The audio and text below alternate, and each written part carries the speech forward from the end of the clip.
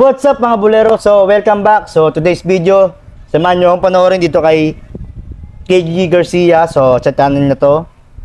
So, naglabas na rin siya ng video niya about sa issue nung kay Rancel na sinasabi niya about sa MAPS phenomenal. So, tingnan natin kung ano yung mga sinabi ni KG dito kasi yung nakaraang video, sabi ni Rancel na baka meron pang susunod na maglalabas sa issue. So, tingnan natin kung ano yung mga sinabi ni KG Garcia to. So, in-upload to kahapon. So, sana okay lang. Idol, kay KG Garcia. Ga, ah, gawa ko na reaction yung video mo ah. Kung pwede. Pag hindi, mag-comment ka na lang. Buburahin ko na lang. So, sana ah, gamit niya to. So, tara, samahan nyo ako sa mga hindi pa nakapanood nito. Panoorin na natin. Game! So, ano nga ba yung nangyari? Up mga balbasor? Um, ngayon, um, gagawin ko tong video na to para lang malaman nyo kung ano ba yung nangyari. Siguro sisimulan natin to nung time na February yata yun, hindi ako nagkakamali or January, time na si Coach Mab ay nag nagdagat, parang 2 weeks siyang hindi nag, ano, na Sumama sa- Diba, hindi nakita sa vlog. Oo. So, ako noon that time ay nag-try out sa LPU. Mm. Nag-try out ako sa LPU, um, tawag dito, um, di ba ngayon nga pinapabalik ako. So yun, usap kami noon, nag-meeting kami. Actually kasama si Ransel kasi nga dalawa kami ni Ransel pumunta ng LPU.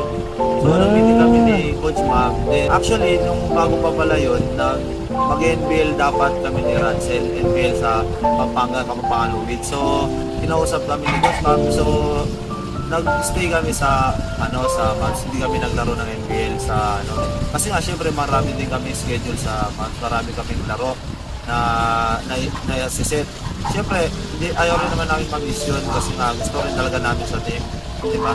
So nung mag bumalik si coach nag-usap kami kami tatlo tinanong niya kung ano daw ba talaga yung plano namin. Kasi nung bumalik siya, may parang may bagong plan, yung vlog for adventure, dagat, tapos kunwari pumunta sa dagat na may court, maglalaro doon piso-piso, ganon. Mga ganong klase ng vlog. Then, wala muna ya, hindi masyado muna yung invitational na laro. Then, meron din doon parang walang schedule. Schedule, kunwari, pag na gusto na yung isa na punta muna daw, ay, mean, kunwari, naisip daw ng isa na, tara, laon yan. Parang, tara, laon yan. So, tinanong ako ni Coach, tsaka si Ransel, kung G ba kami sa gano'n, kung kami ba daw, nakikita namin yung sarili namin as na gano'n, yung parang magdadagat, yung mga gano'n. So, ako kasi mula bata ako, gusto ko talaga yung basketball.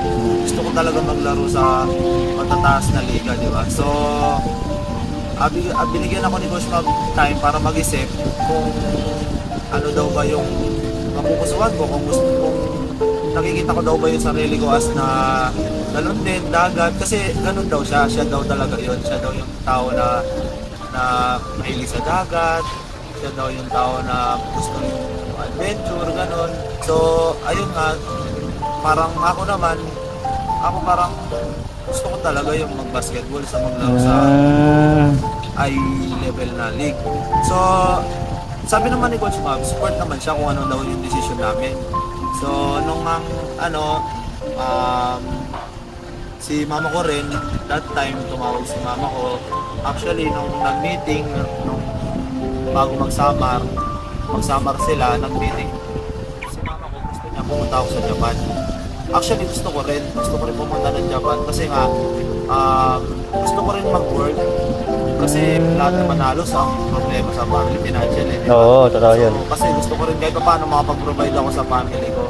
At sa totoo lang, di ako naghihingi ng pera sa mama ko kasi ayoko inuobliga siya na, kasi 21 naman na ako, eh, kaya ko naman na gumawa ng paraan para sa sarili ko. oo. Ayoko yung parang iisip-isipin pa niya ako. So, ano, um, dahil gusto kong mag-work sa Japan, kahit mga 6 months lang, yung magtuturis lang ako doon, um, kasi may kakilala yung mama ko doon na pwede ko mapagtrabahuan at ko makasama yung mama ko doon kasi nga never ko pa nakasama yung mama ko nang tumagal ng isang buwan lagpas mula bata ako hindi ko pa siya Mm. nakasama ng ganun kasi citizen sa Japan at first time ko rin pumunta ng Japan if ever so kaya gusto ko rin magano sa Japan kasi medyo na-struggle na rin ako sa financial kasi um, honest speaking wala naman po kaming ano na um, allowance per month sa Ah, game. ayun. Meron kami per game which is 2K. So, So, putulin ko muna. So, ayun. Yun yung pinaka, ano, na dahilan. Kaya, hindi siguro, hindi rin nag-oo sila Ransel sa gusto ni Coach Mobs. Yun yung naisip ko nga eh, kanina habang sinasabi ni KG yun eh. Na, yung financial. Kay Coach Mobs, siguro, kaya niya yung gawin niya, ganun, magdadagat, maglalaro lang piso-piso. Kung meron na siyang kinikita, monthly, 'di ba? Okay lang 'yun. Pero sa pa, sa pwesto nila ni Ran, ni Neto ni KG, si Rancel, ganun din siguro. Kumbaga, hindi sapat yung binibigay sa kanya 2K sa game nila. Per game, ganun lang pala yung binabayad sa kanila per game. eh. Pero yung pinaka allowance sa monthly wala. Kahit nga yung sinabi ni Rancel, 'di ba, may bayad yung tubig, may bayad yung ano, pero syempre, rights naman nila Coach Mobs yun na ganun. Kasi nga may kinikita sila eh. Kaya ang problema, hindi laging may laro. Nung mga nakaraang ano, buwan, di ba? Nahinto, kagaya ng sinabi ni KG na, nahinto si Coach Mobs na wala sa vlog. So yung mga laro nila, hindi rin ganun tuloy-tuloy. Syempre, ang bayad sa kanila per game, eh kung walang game, wala silang kita.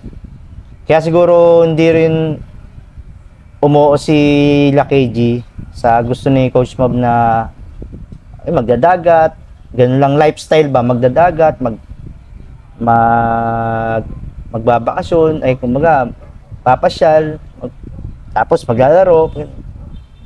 Kasi kailangan mo rin ng pera dun eh. Kung wala kang pera, hindi ka rin makakagala-gala.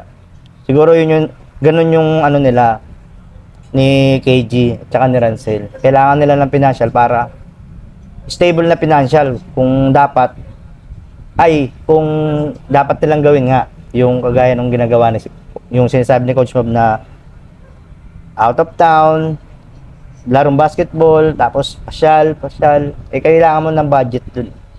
Siguro kapos talaga sila kaya mahirap siguro yung ganun. Hindi nila up hindi nila kaya yung ganun. Kaya hindi rin sila nag-oo dun sa ano ni Coach Mob So, yun nga, yung kagaya rin yung sinabi ni, yung last na sinabi ni KJ, yung sa work, gusto niya na mag-work kasi nga hindi stable yung financial niya. Gusto niya rin makasama yung mama niya. So, tuloy natin kung ano pa yung sasabihin ni KJ dito. parang sakto lang siya sa pangkain namin, sa Ano na? expenses. Speaking, wala naman po kaming ano, Ah, ito yun. na, um, allowance per month. Walang sa- allowance. Sa team. Meron kami per game which is 2K. 2K. parang sakto lang siya sa pangkain namin. Oo, maliit sa yun. Mga expenses namin like food, yung yung mga mga ano Daily needs. namin. Oo. Kailangan namin bilhin, di ba? Kasi Mm. gusto rin namin mag-decente kami tignan eh. Oo. So, kaya yun, kung iniisip niyo po na iniwan ko si Coach Mab, ganun, wala pong ganun na nangyari. Bago ako umalis sa Binos, nag-usap pa po si na Coach Mab at mama ko. Actually, pati ako, nag-usap-usap pa nga kami. Sabi pa nga sa akin ni Coach Mab is open door naman. Always kasi nga once a Mabs is always a Mabs. So, ayun nga. Um, gusto ni mama ko, syempre gusto ko rin siyang makasama. So, yun yung nangyari. So, ayun mga balbasor, gusto ko lang magpasalamat kay Coach Mabs sa bumubuo ng Mabs Phenomenal Basketball, kay Kuya Dane, kay Ate Awi, sa lahat ng mga nandun sa bahay. Ah, may nababasa nga ako na comment na ungrateful daw ako. Syempre, mag-download din sa akin yun kasi sa comment, may, may mga nag-mention sa akin na ungrateful, walang utang na loob. Walang utang na loob. Siyempre para sa akin masakit yun kasi Oo, ako totoo. naging walang utang na loob. Wala naman ako sinabi masama sa Mavs. At saka, na nandun ako lahat naman ginawa ko, lahat ng part ko, di ba? Wala Oo. naman akong sinabi masakit sa kanila, wala naman akong paninira na na sinabi. Siguro hindi natin maiiwasan yung magkaroon ng samaan ng loob, di ba? Kahit nga sa family mo. Actually, yung nagkaroon ako sama ng loob, pero pinapumayan kay ko. Yun ang pinaka the best. Actually, pinag-usapan namin yan. So, patuloy ko muna. Yun ang pinaka the best. Pag meron kang, ano, meron kang hindi na, kumbaga, hindi naman totally nagugustuhan or ano lang, hindi lang akma dun sa mga gusto mong path or yung mga gusto mong mangyari. Sige lang, open mo, dapat mo sabihin para hindi nakikimkim. Kasi pagka hindi mo nilalabas yan, magiging sama ng loob na yan, lala, lalalim yan eh. ba? Si Si KG, mukhang mabait to eh. Kasi, nasasaktan siya dun sa mga sin- nag, nagbaba sa kanya. Siyempre, dahil hindi naman totoo. Pero pagka sa court, di ba, maangas eh. Kala ko maangas to eh. Mayabang to eh. Pero mu- mukhang mabait si KG. Totoo yung sinabi nung kaibigan ko na yung mga maangas, mayabang sa loob ng court. Sa personal yan, sa labas na ng court, mababait yan, mahusay makisama. So, yun, yun, pala, yun si KG tingin ko. So, tuloy natin.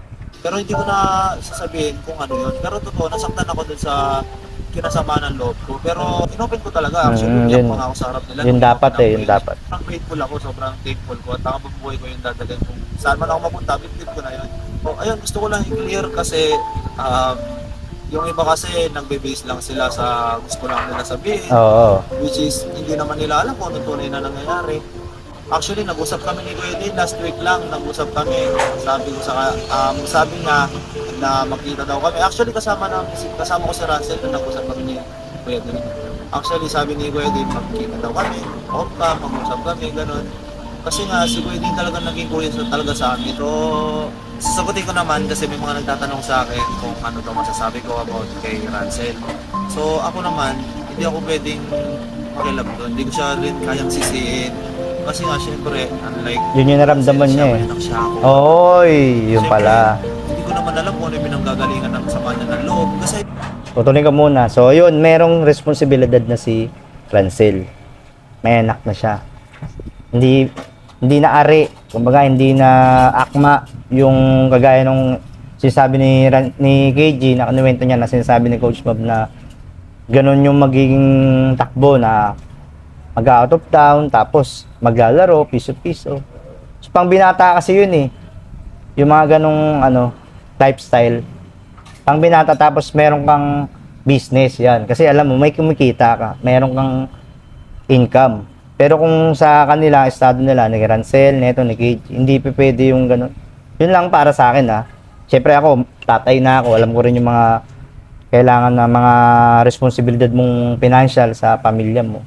So yun yung nakikita ko kaya nang hinalakit din si Rancel tapos hindi sila pumayag sa ano na ganun yung lifestyle na pasyal, tapos laro, pasyal, di ba? So tuloy natin to. Hindi ko naman makialam. Pero ayun nga, kung tatanungin niyo ako kung anong klaseng tao si Ransel, para sa akin sobrang solid niya na tao. Kaya Mm. guys, kung makikilala niyo lang talaga si Ransel, sobrang bait niya. Oo, never totoo ako yun. iniwan nun. Actually, lahat doon never niya iniwan. Kahit saan, kahit saan, kahit ano pa yan, sasamahan ka talaga nun. So dun dun yung pa isa, pag nakasama mo rin sa bahay ang tao, dun mo malalaman kung anong ugali meron ng tao. Sa mag-asawa, ganun. Pag nakasama mo sa isang bahay, dun mo nalalaman na merong mga ugali na may maganda, may masama, may pangit. Hindi naman maiwasan yun. Lahat naman ng tao may pangit na ugali eh. So normal yun. Kaya at least, doon nyo huhubugin yung pagiging magpartner nyo. Magkasama sa bahay, kung paano nyo mag-a-adjust, paano kayo mag magiging ano, maayos. Baga open up, open lang dapat. Kasi yun ang pinaka the best. Transparent ka sa kasama mo sa bahay. Kasi pag hindi dun, dun nagkakaroon ng kinikim-kim hanggang sa lumalim ng lumalim, lumal, ano, bumibigat ng bumibigat. Kaya pagka sumabog at lumabas, nilabas mo, nilabas mo na, yun na. Sa maling time na nangyayari, kagaya nung nangyari kay Ransel. So, ayun lang yung sa akin. So, ngayon naman mga kabalbasor, sasagutin ko kung bakit ako naglalaro. So, hanggang doon na lang. At least, narinig natin yung kay KG. Mismo sa channel niya yun, sa kanya talaga to. Na channel. Supportahan yung channel ni KG. So, ayun, at least, nali, mala, ma, na, ano natin, napanood natin na hindi naman siya ganun, kumbaga yung nangyari kay Rancel. Medyo pangit kasi yung way nung kay Rancel eh, kaya siguro, ano, naging hindi maganda yung kinalabasan. Yung kay KG medyo maayos kasi. Tapos yun nga, magkaiba sila ng experience ng ano ng estado kasi si Rancel may anak, ito si KG wala. Kumbaga sarili niya lang. Ayun, may pinapaka may responsibilidad na si Rancel kaya kailangan niya talaga mag magtrabaho din ng regular na kita, iba pa yung sa basketball, di ba? Siyempre, ah, kahit ako, love ko ang basketball eh. Gusto ko nga mag-basketball na lang. Pero may pamilya na ako eh. Kailangan kong unahin yun. Yung, yung responsibilidad ko sa para sa pamilya ko. Di ba? Siguro yun lang. Hindi lang talaga nagkaintindihan. Ang, pang, ang mali lang talaga nilabas ni Russell na ganun yung ano, mga naramdaman niya kaya medyo pumangit. Hindi naging maganda yung kanalabasan. So, yun lang. At least, nalaman natin yung side ni KG. O, ito na lang, ito na lang, hanggang dito na lang siguro to wala na magsasalita. Kasi, tingin ko, okay na naman. Sana matapos na to. Pero tingin ko matatapos, tapos na to. So, hanggang dito lang tong video na to. Supportan nyo sila palagi. Ang team ni Coach Mabs, channel niya, KJ Garcia. So, supportahan pa rin natin sila. So, hanggang dito lang to. Hanggang susunod ulit. Peace!